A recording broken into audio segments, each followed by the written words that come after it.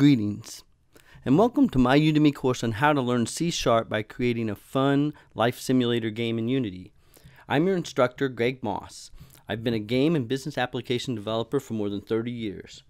In this course, you will learn how to make a life simulator game from the ground up. Life simulator games are very popular, and there are many examples on the Google Play and Apple App Stores.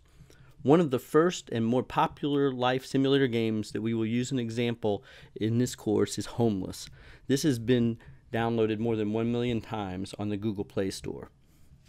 This course is designed to take you very quickly from beginning programming techniques to intermediate and advanced game design patterns in record time. Even if you're a brand new programmer, you can learn to build a fully functioning life simulator game. We start with creating a simple user face, declaring variables, and learning how to call methods from button events. After the basics, we will refactor our game design while adding new C-sharp skills such as loops and lists and create a new class manager for our game items. Later in the course, we introduce events and delegates. You will quickly learn why mastering this technique will allow you to create well-designed games.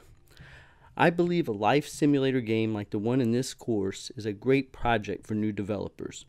It is a simple game design, but offers great opportunities to extend the basic gameplay we create with your own ideas. Best of all, this course comes with a money back guarantee. You can purchase it right now, risk free, and give it a try. So many thanks for listening, and I look forward to having you as a student.